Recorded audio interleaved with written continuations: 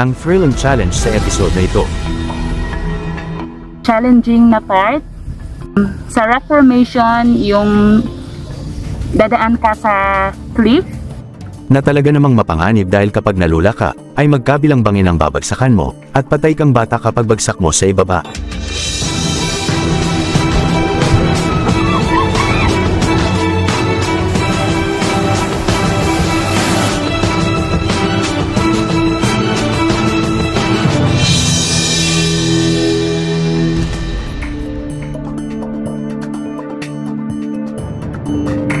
Sa aming paglalagalag upang maghanap ng sinumang susubok sa aming Adventure Reality Challenge,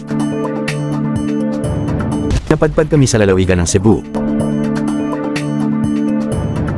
Dito namin nakilala si Shari the Panther, na noong mga panahong yon ay nakasalukuyang nasa sabbatical period ng kanyang buhay.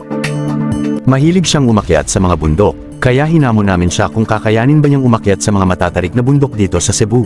Mga tatlo lang muna, kung kakasaba siya, at aba talaga namang hindi umatras sa aming adventure challenge itong si Shari the Panther, kaya naman siya ang magiging challenger natin sa docu-reality challenge ngayong araw.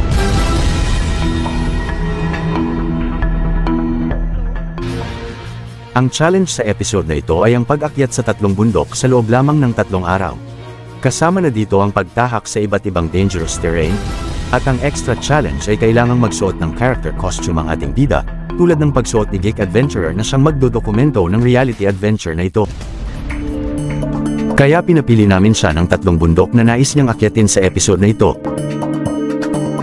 At yun na nga, ang unang bundok na kanyang tatahakin ay ang Osmeña Peak, sa bayan ng Dalaget.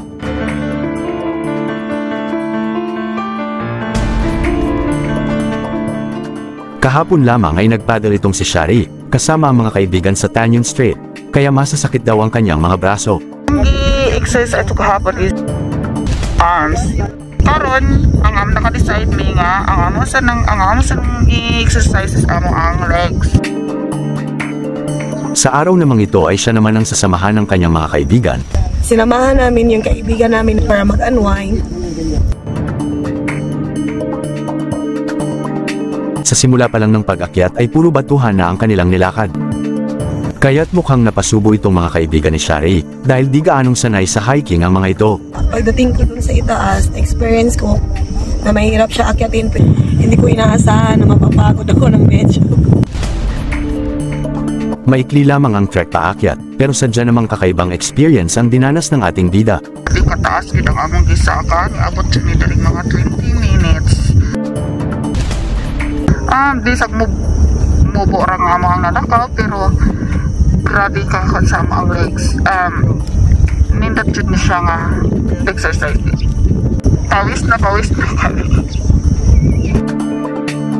Bagamat hinihingal na agad siya sa pag-akyat, ay marami namang magagandang tanawin ang makikita, patungo sa pinakatuktok ng Osmeña Peak.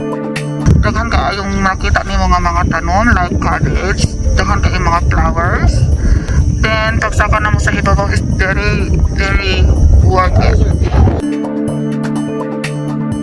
Habang umaakyat ay unti-unti nababalot ng hamog ang paligid. At hanggang makarating sila sa pinakataas, ay halos walang kabundukang matatanaw dahil sa makapal na mababang ulap. karon na lahi na gyud siya mm, pag-abot very Ngayon, dito na kami sa Osmeña Peak. Galing sa baba, mga ano, 1.2 kilometers yung trek natin. Makalipas sa mga 15 minutes ay nahawi rin ng mga ulap, at namalas ng grupo ang kakaibang ganda ng lugar. so after 10 minutes nakita na namang tanan nga view So, pagdating ko dito sa ibabaw, napakaganda pala ng view dito. Kita lahat. Kini nga mo ang view karon sa Osmeña Peak nga indot kaayo magtapos kita na yung mga burol-burol ibang lahi yung mga burol may matulis malaki Ang experience ko dito, pumunta ko dito, Minaw, Puyat, pero masaya naman kapag umabot ka sa bundok. tapos may mga rock formation dito. Mga iba't ibang formation sa rock. Parang chocolate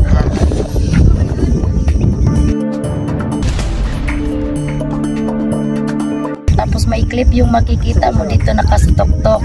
Super, pinaka maganda yung view dito kasi 360 yung view dito sa Osmeña Peak, overlooking. Dahil sa taas ng Osmeña Peak, ay makikita dito ang 360 view ng mga kalapit na isla sa Cebu. Makita namin yung ano, Badjan Island, Pescador Island. And then sa kabila yung Bohol. Unang hiking challenge na ito, ay talaga namang magandang workout ang dinanas nitong si Shari. Very exciting. Ah, singot kayo mi guys. E taas jud kayo among gisaka karong adlaw. ah. Bagamat nawerduhan siya sa kakaibang costume ni Shari the Panther, Mas mahirapan kapag mayroong mas para hindi ka hininga. pati na rin sa kasamang document artist na si Pinoy Geek Adventurer, na siyang kumukuha ng video ng lahat ng kaganapan. Natutuwa ako yung na-feature sa, sa aming lugar, yung documentaries. Itong tour guide na si Ate Minye ay bumilib dito sa ating bida. Nagulat ako kasi kinaya niya. Kasi yung umakyat dito, ma- mahirap kasi ano, may araw itong mainit. Super, kinaya niya umakyat dito. Super proud ako. Ito'y unang bundok pa lamang sa docu-reality episode na ito. Malalaman natin kung sisipot ba siya sa susunod na challenge kinabukasan.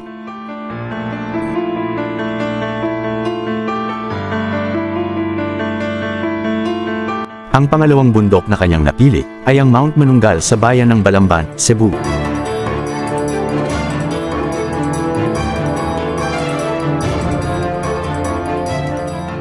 At yun na nga, inabot ng tatlong araw bago ulit sumabak si Shari sa sunod na bundok dahil sumakit daw ang kanyang mga kaso-kasoan. Pero ayon sa kanya ay ready na siyang umakyat ulit dahil nakapag-practice daw siya sa hiking kahit papano nitong nakaraang araw. Tingnan natin. I'm here again para sa another hiking adventure. Mukhang mas challenging ang hiking sa bundok na ito dahil sa madawag at batuhang landas na tatahakin. May layo po itong 1.5 kilometers mula sa viewpoint. Tapos, ah, m- doon sa top point, may viewing deck. Nang marating ni Shari ang ituktok ng Mount Manunggal, ay talaga namang kakaiba rin ang ganda ng tanawin na kanyang namalas. Um, maganda yung view at la- lalo na kapag nasa itaas ka ng, ng rocks. Mayroon din itong 360 view ng mga karatig bayan sa paligid. Doon sa kanan, banda ay makita mo yung lapo-lapo. Tapos doon sa kan ah, kaliwa is yung ano, Balamban. Makikita mo yung view doon tapos makikita mo yung dagat. May kakaiba ring rock formation itong Mount Manunggal, kumpara sa ibang bundok sa Cebu. May mga bra- ah, brain formations na mga limestones At syempre may mapanganib ring mga bangin at batuhan na dapat ingatan, So ako sila gi-warningan kay delikado man gud niya nags niya kuan Kuya pod nga masig mahulog sila ba kay tungod sa kay limited ra makita tungod sa iyang isulob na mask. lalo na at maangin sa araw na ito. Sa lakas ng hangin ay maaari kang mahulog sa matatarik na bangin, at patay kang bata kapag bagsak mo sa ibaba. Sa karon ha, kuan diri hangin-hangin pod samot ka delikado kay inig magbarog ka mapalid niya matumba ka makuan ka sa mga bato madisgrasya makasamad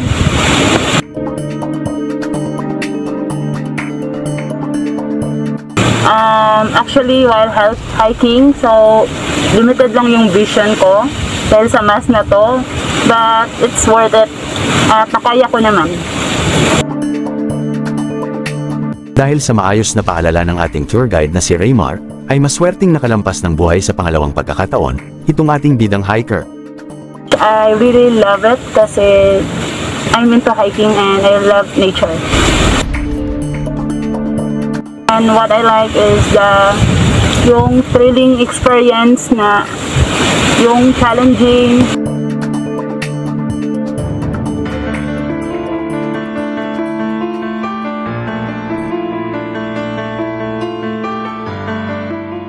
Kinahapunan ay agad na tumuloy si Shari the Panther sa pangatlong bundok upang ma-achieve ang kanyang challenge. Kailangan niyang matapos ang adventure na ito sa loob lamang ng tatlong araw.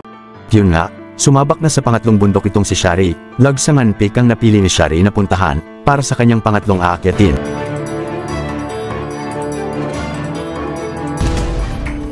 at talagang desidido na malampasan ang aming reality challenge na ibinigay sa kanya. Bumiyahe ako kanina from Balamban but para pumunta na naman sa another hiking adventure.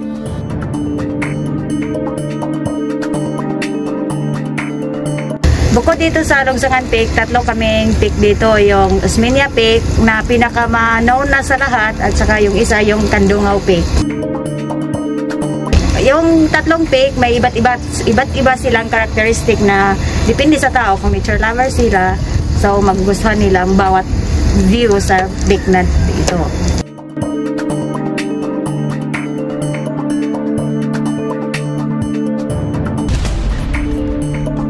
At si Mang Marsing ang siyang tour guide na naka-assign sa araw na ito. Eh habang paket sila sa, sa peak, nakasuot ng mga superhero mask. Mukhang cool lang para kay Kuya Marsing, ang costume na suot ng ating bida at ng kasama niyang dokumentarista. Kaya iwan ko lang sa inyo kung ano sa inyo kasi ako may mask sa bahay. Ngayong panahon to dapat mask tayo kasi pandemic yung panahon natin eh. Um, helpful siya sa amin kasi siya yung nag um, nag-guide us kung saan yung um, pwedeng daanan na safe na area. Ipinaliwanag rin itong ating guide ang 360 view dito sa Lagsangan Peak. So makikita natin ngayon yung Malboal, Green Island ng Badjan, Pescador, Ka- kabila doon sa Negros, doon banda Bohol, sa kabila ng Osmeña, kabila Pati na rin ang mga iba pang trivia na mayroon dito sa lugar ng Dalaget. Tapos makikita mo sa daanan yung mga alanin na gulay. Tsaka yung mga vegetable dito, doon ang bagsakan ng south, southern part of Cebu ng mga gulay. Mantalaw ka black market. Madadaanan yung pagpupunta ka ng Luksangan Peak. What's nice here is that they have this 360 view. Nakikita natin yung surround at tapos iba't ibang shape ng mga bulubundukin. Makikita nyo po yung magandang view dito tulad ng Chocolate Hills sa Bohol. Maging si Shari ay namangha sa kakaibang rock formation na mayroon dito sa lugar. because it's so exciting yung sa um, sa rock formation yung dadaan ka sa cliff uh, which is challenging na part. Na talaga namang mapanganib dahil kapag nalula ka, ay magkabilang bangin ang babagsakan mo, patay ka na namang bata kapag nagkaganon. and yeah kahit la maikli lang siya yung hike like 15 minutes. But it's a good workout already tapos um, challenging din yung rock formation niya Pero dahil sa pag-iingat, at sa mga magagaling na tour guide, ay ligtas na naakyat ni Shari the Panther, ang tatlong matataas na bundok dito sa Cebu Island. Kaya naman pasado ang grade natin sa kanya. Ah, Dahil sa kanyang determinasyon sa batuhan at matatarik na kanyang inakyat, at higit sa lahat ay nagawa niya ang mga ito kahit nakasuot ng costume mask. Talagang sala kami tong si Shari the Panther. So guys, yung adventure ko is uh, almost lahat rock formation. First, galing ako sa Osmeña Peak. Yeah, nice din yung rock formation doon. Then, last nandun ako sa Manunggal. So, um, I would like to inform you nga dapat um, you need to follow safety protocols and follow your guide. Abangan natin ang mga susunod pang mga adventure na haharapin ng sinumang susubok sa aming reality challenge. Mm-hmm.